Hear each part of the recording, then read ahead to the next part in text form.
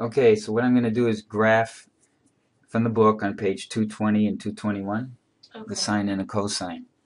So I'm going to put some numbers in the uh, in the in the uh, Excel chart, and I'm just going to start with the zero, and I'm going to go about every 30 degrees. So these are degrees.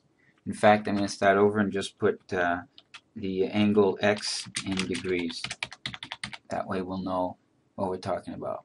Uh, degrees. So this one will be zero, this one will be 30, and this one will be 60 and because the computer Excel is smart it knows that I'm gonna go every 30 so I'll go all the way up to uh, uh, I'll even go up to a little bit further something around there okay? So it's are degrees now Excel it can take the sine of those angles but it doesn't it only does it in radians so I'm gonna put X in radians okay so now we're gonna change all those angles to radians okay Mhm. so you do that by starting by putting an equal sign, R-A-D-I-A-N-S.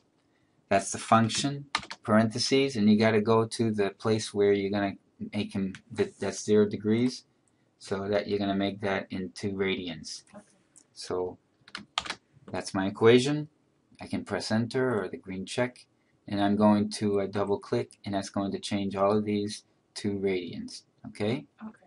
Now all these angles are in radians. So this is 1.04. 60 degrees is 1.04. Okay. Now you know what pi, uh, uh, 180 degrees is pi radians, right? Right. Okay. If you look at 180, and what is pi? 3.14. There it is, right there. 3.14. So it, you know you're doing it right.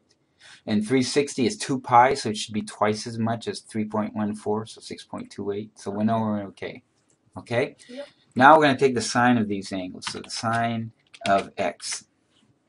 And the sine of x, we're going to put it in an equation. Okay? So we have to start with an equation by the sine, parentheses. It's waiting for where you're going to get this. So it's b2. And put the other parentheses. And check it. Okay? And you know that sine of 0 is 0. So I'm going to just bring down all of these down, copy the equation. Okay, and I can make this bigger to show you that uh, those numbers really go far. Yeah. Okay, because you know that sine can go on and on and on. I'm gonna do. A vi- I'm gonna put the cosine here, so I can I can use that later. So now it's equals cosine, and I'm going to uh, the cosine of.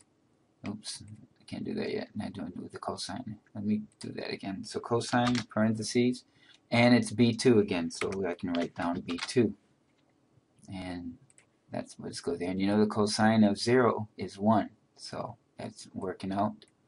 Double click, and it copies all of these. Okay. Okay, so now I have my angle in degrees.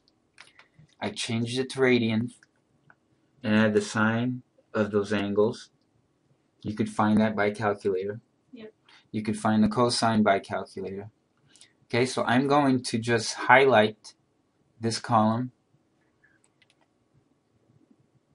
And I'm going to hold the control button down, because you can't see that, and hold down the sine column. Okay. So I held down the control button and I'm able to highlight two columns that are not next to each other. See if they were next to each other I could just go boom boom like that. Okay, but I can't do that when they're not next to each other so I have to hold the control button because these are the two variables that I want to graph. Insert, scatter. Now I usually go to this one because I like curves. So hopefully it's curved get rid of that because I want my graph bigger and that's the way the sine curve looks okay the thing about the sine curve is that it starts at 0 goes all the way to 1 that's at uh, 90 degrees and goes down back to 0 at let's find it here uh, well, that would be it's it should be 180 because this is a very small number. That's why. It because of the Excel uh, the, the way it figures out sine and cosine. It should be zero, but it's taking it from the the radians, so that's why you've got this big long number that doesn't end. So that's why you get this is really this is 1.2 times 10 to the negative 16. So you get 16 zeros before this 1, so it's almost 0. That's the error value that Excel does. Your calculator would probably give you exactly 0 if you round it off. In fact, if I, uh, let's see if I bring this closer, I bet I get 0. There it is, 0 right there. Yeah. See, I can even leave it like that, just in, in uh, one point there. So that's good enough there. Okay, we have three. And let's try one more. No, I'm going to make it zero. So, see now it looks like what we are used to. Okay? Yep. That's and notice I'm rounding off. Like you can do that with the calculator. So that's the sine of x. Alright? So I'm going to get rid of this for a second. And I'm going to highlight this column and the cosine column. Let me uh, make that bigger. No, I didn't want to do that. I'm going to highlight the cosine column. So I'm going to the graph of these two. Okay. So scatter this one. Get rid of this. And go here and make it bigger. Go here and make it bigger. That's the cosine of the angle. Cosine of the angle. Starts at 1. Goes to 0 at 90. Mhm. Okay, right there. Yep. Goes back down to negative 1 at 180. So this is what this looks like. So notice it's curved. Okay, it's not like a linear. And this is an oscillating. It has a period. Now the amplitude is how high it goes from the median from the center line here. Okay, so this is an amplitude of 1. If this was 3 times the cosine of x, you'd notice that it would go all the way up to 3. So sometimes when you have that, so let's say that this equation is 3, we're going to put 3 times the cosine of x.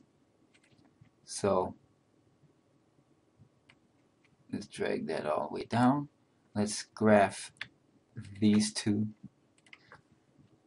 Let's do that again. Graph.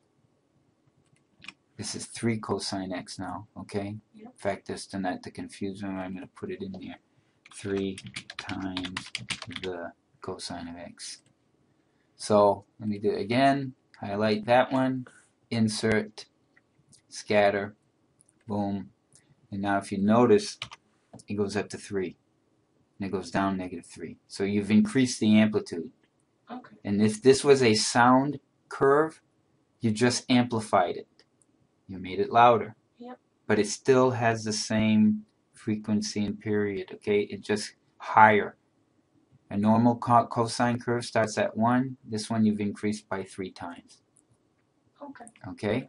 So I'm going to do one more thing. I'm going to change this back to uh, just the cosine of x. And I'm going to change the equation, get rid of this 3 times, so put it back to what it was before. And now, I'll, now I'm going to highlight this one, the angle in degrees, the angle, I mean the sine of x and the cosine. I'm going to put two graphs on the same chart. So that way I can look and compare them. There it is. Well, I'm going to keep that for a second. Let me uh, make this bigger. I'll keep it to show you why I'm. And Excel is pretty cool because it change it gives you the colors of each one. So okay, so the blue one, as it says here, is the sine of x. Notice at zero degrees, it starts at zero and one, so that's right there. And then the cosine starts at one and it goes down. Okay,